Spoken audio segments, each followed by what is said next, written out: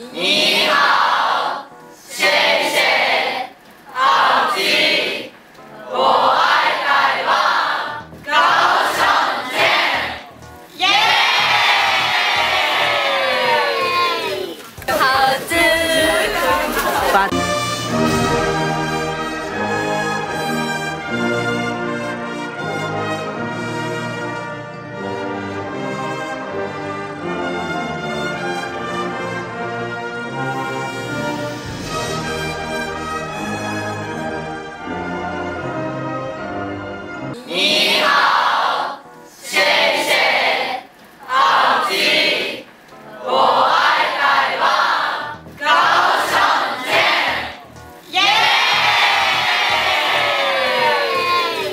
湾に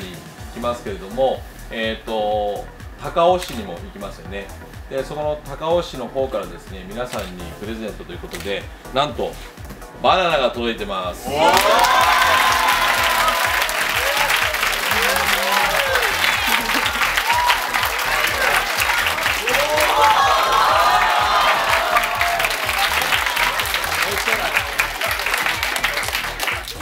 じゃあそういうことで、えー、と皆さんに一人ずつ贈呈をしますのでじゃあ一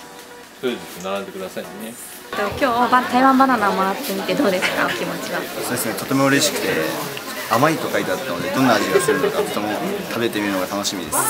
台湾バナナは食べたことありますか？僕はないので初めて食べるので楽しみです。えっと、高尾で、えっとまあ、演奏だったりとか台湾の国慶節で演奏すると思うんですけどどんな感じですか？気持ち的には。そうですね。